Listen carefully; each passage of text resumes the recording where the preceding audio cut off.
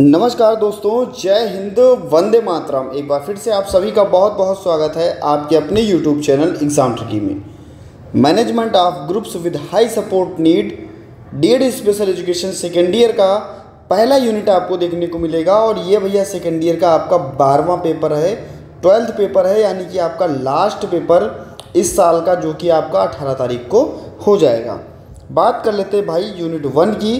तो उच्च समर्थन आवश्यकता वाले बच्चों की यहाँ पर बात कर रहा है और गंभीर दिव्यांगता वाले बच्चों की बात कर रहा है। हम कहते हैं, भाई, उच्च समर्थन आवश्यकता वाले बच्चे कौन होंगे? तो कहेंगे, ऐसे बच्चे जिनको बहुत ज़्यादा समर्थन की आवश्यकता होगी, यानी कि जिनको हम बहुत ज़्यादा समर्थन दें जिससे कि वो सीख सकें और फिर भी हम उनको समर्थन दें कि वो भूल भी जाते हैं, फिर भी हम उनको सिखाएँ और भैया उनको हम क्या करें, एक स्वतंत्र जीवन यापन दिला सकें। महत्वपूर्ण कह सकते हैं कि ये आपकी आवश्यकताओं का मतलब उन व्यक्तियों से है जिन्हें अपने दैनिक जीवन में महत्वपूर्ण मात्रा में सहायता और देखभाल की आवश्यकता होती है। गंभीर, दिव्यांगता का तात्पर्य उन विकलांगताओं से है जो व्यक्ति की कार्यक्षमता को अत्यधिक प्रभावी करता है, जिससे उसे स्वतंत्र रूप से जीवन यापन जो है करने में कठिनाई होती है। बात करते हैं उच्च समर्थन की तो कहते हैं, सहायता की ज़रूरत होती है तो इनको खाना खाने में, कपड़े पहनने में, स्नान करने में, चलने फिरने में इनको बहुत ज़्यादा सहायता की ज़रूरत होती है। जब सहायता की ज़रूरत होगी तो इनको हम क्या करेंगे, नियमित चिकित्सा दिलवाएँगे, जो भी इनकी कमियाँ होंगी, हम इनको क्लिनिकल देखभाल इनकी करवाएँगे, चिकित्सा की देखभाल करवाएँगे, स्वास्थ्य सेवाओं की देखभाल करवाएँगे और भैया इनके लिए हम सहायक उपकरण के के लिए भी अरेंजमेंट करेंगे। व्हील चेयर हुआ ऑक्सीजन टैंक हुआ, विशेष बिस्तर हुआ, संचार उपकरणों का उपयोग करना। इसके बाद में गंभीर विकलांगता की जब बात करते हैं तो यहाँ पर हमें देखने को मिलता है, चाहे वो आपका बौद्धिक दिव्यांगता हो, चाहे वो संवेदी दिव्यांगता हो, चाहे वो मिश्रित दिव्यांगता हो यानी कि शरीर के, सबसे पहले हम शारीरिक दिव्यांगता की बात करेंगे तो शरीर के किसी अंग या अंगों की कार्य क्षमता में गंभीर कमी, यानी कि बिल्कुल इतनी ज़्यादा कमी होना, जिससे कि भैया सीवियर और प्रोफाउंड की कंडीशन वहाँ पर आए तो वो आपकी गंभीरता, जो आपके हाई सपोर्ट नीड वाले बच्चे होंगे, हम उनको कह सकते हैं। बौद्धिक दिव्यांगता में बिल्कुल जिनका आईक्यू लेवल बीस से पैंतीस हो या भैया बीस से भी कम हो तो वो दिव्यांगता वाले बच्चे आएँगे। संवेदी दिव्यांगता सेंसरी वाले जिनमें दृष्टि, श्रव्य और स्पर्श करने में गंभीर दिव्यांगता हो, फिर भी वो ना समझ पाते हो। मिश्रित दिव्यांगता में आपका शारीरिक दिव्यांगता और बौद्धिक दिव्यांगता दोनों एक साथ में ऐसी दिव्यांगताएँ जो हों, दोनों एक साथ में शामिल हों। और तब क्या होता है बच्चे की जो गंभीरता का स्तर होता है वो बढ़ जाता है।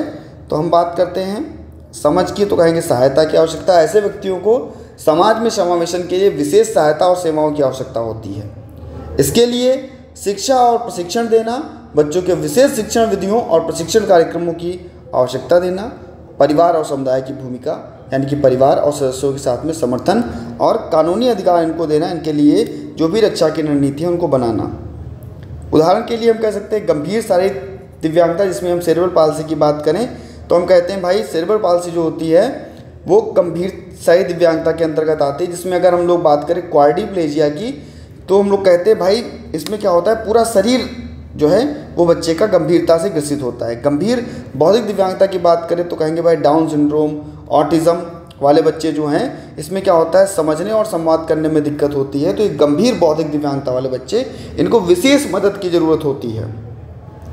कहेंगे भाई, उच्च समर्थन वाले जो बच्चे हैं, इनकी इनकी आवश्यकताओं और गंभीर दिव्यांगताओं को सही पहचानना और उचित देखभाल करना व्यक्तियों की गुणवत्ता में सुधार किया जा सकता है और इनके स्तरों को बढ़ाया जा सकता है और सम्मानजनक इनको भैया जीवन यापन के दिलाया जा सकता है। इसके बाद बात करते हैं यूनिट वन पॉइंट टू की तो कहेंगे उच्च समर्थन आवश्यकता वाले बच्चों के साथ कार्य करना सख्त मुद्दे और चुनौतियों पर। तो हम कहेंगे भाई, जब उच्च समर्थन बच्चे को देना होगा, यानी कि हाई सपोर्ट देना होगा, बहुत ज़्यादा उसको ज़रूरत होगी किसी भी चीज़ की तो हम कहेंगे इनके अगर स्ट्रेंथ की बात करें तो कहेंगे दृढ़ता और सहनशीलता। इन व्यक्तियों में कठिन परिस्थितियों का सामना करने में अद्भुत क्षमता होती है। इनकी दैनिक चुनौतियों से निपटने की दृढ़ता उनके व्यक्तित्व को क्या करती है, मज़बूत करती है विशेष रूप से। इसमें क्या होता है? इनकी शक्तियों की बात करते हैं तो समर्थन सपोर्ट नेटवर्क होता है, यानी कि भाई परिवार, दोस्त, पेशेवर, सहायता, जो कहते हैं कि मज़बूत रूप से इन्हें आवश्यकता की देखभाल कराते हैं और उनका समर्थन दिलाते हैं। इनके लिए भैया गतिविधि उपलब्ध, यानी कि जो इनका पर्सनल एक्टिविटीज़ होती हैं, जहाँ पर इनको जो अवसर मिल सके, चाहे वो शिक्षा के हों, चाहे वो सीखने के नए अवसर हों चाहे वो कला के हों, इनमें क्या करते हैं? अद्वितीय सफलता प्राप्त करते हैं। ये इनकी स्ट्रेंथ होती है, हम इनको करा सकते हैं। सहयोग की भावना भी इनमें विकसित कर सकते हैं, सहभागिता कर सकते हैं। इशू क्या आता है? मुद्दे क्या आते हैं? आखिरकार क्यों इनमें कमी होती है किसी भी चीज़ को करने की? कहेंगे, भाई लेक ऑफ़ इंक्लूजन यानी कि समावेशन में कमी। बच्चा अलगाव महसूस करेगा। जब समाज से बच्चा अलगाव महसूस करेगा तो भैया, समावेशन में कमी आएगी। सुविधाओं की कमी, यानी कि आवश्यक सुविधाओं जैसे रैंप, विशेष टॉयलेट और विशेष परिवहन, इनको नहीं मिल पाता। लेक ऑफ़ फैकल्टीज़ देखने को मिलती हैं, चाहे वो विद्यालय में हो और चाहे वो हमारे आसपास की किसी भी बिल्डिंग में हो, कहीं पर जाना हो, कहीं पर आना हो, इनमें। अगर हम बात करें, इनमें स्वास्थ्य समस्याएँ होती हैं बार बार जो है इनको चिकित्सा की देखभाल करानी पड़ती है स्वास्थ्य समस्याओं का इन्हें जटिल सामना करना पड़ता है और वित्तीय कठिनाइयाँ भी होती हैं उच्च चिकित्सा और देखभाल की लागत के कारण वित्तीय दबाव का सामना करना पड़ता है जिसके कारण से इनमें जो है आ, कह सकते हैं कि भाई इनमें मुद्दे आते हैं इश्यूज़ आते हैं कहीं ना कहीं ये पिछड़े रहते हैं।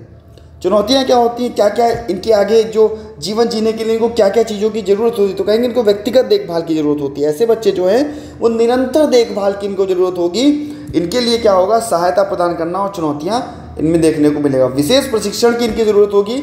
हम इनको क्या करेंगे? सरल तरीके से हम इनको अच्छे तरीके से चीज़ों को सिखाएँगे। जो भी कार्यक्रम सिखाएँगे, उसमें हम गुणवत्ता परक इनको शिक्षा देंगे। सुनिश्चित करेंगे, भैया, चुनौतीपूर्ण चीज़ों को सिखाएँगे और बराबर इनके साथ हम कम्युनिकेशन करेंगे। संचार भी हम बराबर रूप से करेंगे। विशेष आवश्यकताओं और इच्छाओं को स्पष्ट रूप से ये बच्चे व्यक्त नहीं कर पाते। तो भैया इनका हम कम्युनिकेशन स्किल भी है, इसको भी बढ़ाने की कोशिश करेंगे। और समाज की अवधारणा भी आपको देखने को मिलेगी कि दिव्यांगता के प्रति जो नकारात्मक अवधारणा समाज में हमें देखने को मिलती है, इससे भी भैया भैया बच्चों का आत्मविश्वास और सम्मान जो है वो कम होता है। तो ये चीज़ें आपको देखने को यहाँ पर मिलती हैं। संभावित अगर हम समाधान की बात करें तो हम सबसे पहले बच्चे को क्या दिलाएँगे? समावेशन दिलाएँगे, जिससे कि भैया समावेशी शिक्षा को बढ़ावा मिल सके। इसके बाद में हम सुविधाओं का विकास करेंगे। जो भी बुनियादी सुविधाएँ उनको नहीं मिल पा रही हैं, उनको हम दिलवाएँगे। इनके लिए स्वास्थ्य के लिए जो भी बेहतर सुविधाएँ वो दिलवाएँगे। वित्तीय सहायता सब्सिडी दिलवाएँगे और शिक्षण प्रशिक्षण का भी कार्यक्रम जो है, वो लागू किया जाएगा। व्यवसायिक प्रशिक्षण कार्यक्रम जो है, इसको भी बढ़ावा दिया जाएगा। तो ये हम कह सकते हैं कि उच्च समर्थन वाले जो बच्चे होंगे, इनके लिए हम धैर्य, सहानुभूति और समर्पण की आवश्यकता होगी। इनकी शक्ति को पहचानने के लिए उनमें सामना और चुनौती को ध्यान में रखते हुए समाज को समाज को एक समावेशी और सहायता वातावरण जो है, दिशा प्रदान किया जा सकेगा। तो ये आपको यहाँ पर देखने को मिल सकता है। 1.3 में हम लोग बात करते हैं। जो हमारे उच्च समर्थन वाले बच्चे हैं, उन बच्चों के लिए जो भी व्यक्तिगत ज़रूरतें हैं, चाहे वो चाइल्डहुड में हो, चाहे वो एडोलसेंस में हो या एडल्टहुड में हो तो वो कैसे मिलेंगी? कहेंगे, भाई, इन बच्चों को हम बाल्यावस्था में क्या देंगे?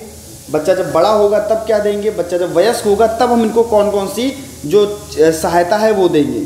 तो हम लोग बात करते हैं सबसे पहले बाल्यावस्था की। तो कहते हैं, बच्चे को हम लोग क्या देंगे?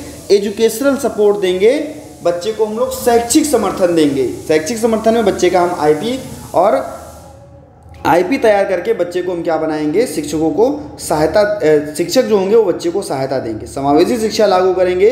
सहायक तकनीकों का उपयोग करके, सामान्य कक्षाओं में बच्चे को शामिल करके हम लोग एडेप्टिव डिवाइसेस का उपयोग करेंगे। बच्चे के लिए जो भी सुविधाएँ होंगी अर्ली इंटरवेंशन प्रोग्राम की सुविधाएँ, यानी कि शीघ्र हस्तक्षेप कार्यक्रम की सुविधाएँ, जैसे कि थेरेपी देना, बच्चे को ऑक्यूपेशनल थेरेपी देना, बच्चे को फिजियोथेरेपी देना इसकी हम लोग शुरुआत करेंगे और बच्चे की हम लोग क्या करेंगे? स्वास्थ्य की देखभाल करेंगे। बच्चे की नियमित जाँच, नियमित निगरानी की जाएगी और भैया आवश्यकता के लिए जो भी डॉक्टर और चिकित्सक होंगे, इनको भी सहायता देनी पड़ेगी। फैमिली सपोर्ट भी होना चाहिए। भाई, जब बच्चा छोटा है, चाइल्डहुड का बच्चा है, बाल्यावस्था का बच्चा है तो हम कहेंगे, भाई, परिवार का भी सपोर्ट होना चाहिए। परिवार को सही जानकारी और मार्गदर्शन प्रदान करना। इसके लिए भैया जो भी नेटवर्किंग है समर्थन का समूह है, इसमें शामिल करना। बच्चे के लिए आवश्यक उपकरण, यानी कि असिस्टिव डिवाइस सहायक उपकरण व्हील चेयर सुनने की सहायता, संचार उपकरण, इसका उपयोग करना। जब बच्चा धीरे धीरे बड़ा हुआ, यानी कि बच्चा गया अपना किशोरावस्था में तो हम कहेंगे, भैया, यहाँ पर बच्चे की समर्थन क्या करेंगे? हम शैक्षिक समर्थन करेंगे। उसको हम लोग क्या वोकेशनल की तरफ़ वोकेशनल समर्थन करना धीरे धीरे शुरू कर देंगे। यानी कि उच्च शिक्षा के लिए विशेष शिक्षा योजनाओं का विस्तार जो भी कौशल कार्यक्रम है, यानी कि व्यवसायिक प्रशिक्षण और जीवन कौशल का कार्यक्रम, इसमें स्वास्थ्य और मानसिक स्वास्थ्य की बात करें तो मनोवैज्ञानिक समर्थन, यानी कि आत्म स्वीकृति और मानसिक स्वास्थ्य सेवाओं का प्रावधान, स्वास्थ्य देखभाल, यानी कि नियमित चिकित्सा और विशेष जो भी सेवाएँ हैं, इनको जारी करना और भैया, इनके लिए भैया, इनकी आयु के अनुसार सामाजिकरण बच्चे का करना। बच्चे के लिए खेल, क्लब, सामाजिक गतिविधियों में इनको भाग दिलवाना और भैया इनके लिए स्वतंत्र कौशल जीवन यापन करवाना, जिससे ये भैया आत्मनिर्भर बने और भैया इनको प्रशिक्षण दिया जाए। अब बच्चा हो जाएगा, वयस्क यानी कि एडल्ट हो जाएगा बच्चा। जब एडल्ट हो जाएगा तो इसको रोज़गार देने की आवश्यकता होगी, जिससे कि वो भैया अपनी आजीविका को चला सके। तो हम कहेंगे, भाई इनको एम्प्लॉयमेंट देंगे, यानी कि रोज़गार प्राप्त करने और बनाए रखने के लिए समर्थन। व्यवसायिक प्रशिक्षण में, कौशल उन्नयन और व्यवसायिक शिक्षा, स्वास्थ्य और कल्याण में कहेंगे भैया दीर्घकालीन चिकित्सा सेवाएँ, यानी कि हेल्थ केयर की बात करेंगे, नियमित और विशेष शिक्षा सेवाओं की बात करेंगे, मानसिक स्वास्थ्य सेवाओं की बात करेंगे, तनाव प्रबंधन को, मानसिक स्वास्थ्य सेवाओं का प्रावधान। इसके लिए भैया इनको स्वतंत्र जीवन यापन की बात करेंगे इंडिपेंडेंट लिविंग की बात करेंगे। जहाँ पर स्वतंत्र जीवन यापन करने के लिए भैया इनको समर्थन दिया जाए, और भैया ये उनको स्वतंत्र सेवाएँ मिल सकें। इसके लिए जो सामाजिक भागीदारी होगी जैसे कि परिवार दोस्त समुदाय के, के साथ में नेटवर्क को बेहतर करना ये सारी चीज़ें आपको देखने को मिलती है। इसमें आपका होलिस्टिक अप्रोच भी आ जाएगा। इसमें व्यक्तिगत केंद्रित योजना बनाई जाएगी पर्सन सेंटर्ड प्लानिंग बनाई जाएगी। व्यक्ति की क्षमता और आवश्यकताओं को देखते हुए उसके लिए योजना बनाई जाएगी। सामुदायिक और जो भी नीति समर्थन है कम्युनिटी एंड पॉलिसी सपोर्ट जो है बच्चे का वो दिया जाएगा और बच्चे का सतत विकास किया जाएगा। इन चीज़ों के द्वारा हम बच्चे को, चाहे वो बाल्यावस्था में हो, चाहे वो किशोरावस्था में हो, चाहे वो अपना युवावस्था में हो तो हम सभी जगह पर क्या कर सकते हैं, बच्चे को हम बेहतर बना सकते हैं। इन सभी चीज़ों को देख करके भाई हम क्या शिक्षा देंगे, क्या उसको समर्थन देंगे, क्या उसको हम चिकित्सा सेवाएँ देंगे, इसके द्वारा बच्चे का सतत विकास किया जा सकता है। हम लोग बात करते हैं levels of support I A S S I D D तो हम कहते हैं भाई I A S S I D D यानी कि international association for the scientific study of educational and developmental disabilities ये इसका क्या होता है? फुल फॉर्म होता है जो समर्थन आवश्यकता वाले बच्चों को चार तरीके से इसको वर्गीकृत किया जाएगा। पहली आपकी लिमिटेड यानी कि सीमितता अस्थाई व्यापक और भैया सर्वव्यापी। ये चार चीज़ें जो है वो आपको देखने को यहाँ पर मिलती हैं। तो हम कहेंगे सीमित समर्थन क्या होगा लिमिटेड सपोर्ट क्या होगा? कहेंगे सीमित समर्थन का तात्पर्य समयबद्ध और विशिष्ट गतिविधियों या जीवन के क्षेत्रों के लिए प्रदान किए जाने वाले समर्थन से। विशिष्ट गतिविधियों और जीवन के लिए जो क्षेत्र हैं उनके प्रदान किए जाने वाले समर्थन से होगा।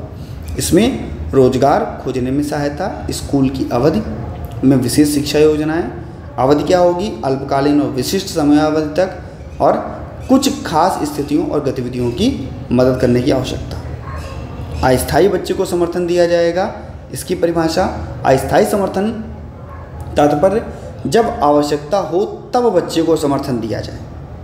जब आवश्यकता हो तब बच्चे को समर्थन दिया जाए। बिना आवश्यकता बच्चे को समर्थन नहीं देना है, उसकी मदद नहीं करनी है। उदाहरण, बीमारी के दौरान, तनावपूर्ण समय में, नौकरी बदलने में, ये सभी चीज़ों में। समय समय पर आवश्यकता होगी इसकी। व्यापक समर्थन, यानी कि आपका व्यापक समर्थन क्या होगा?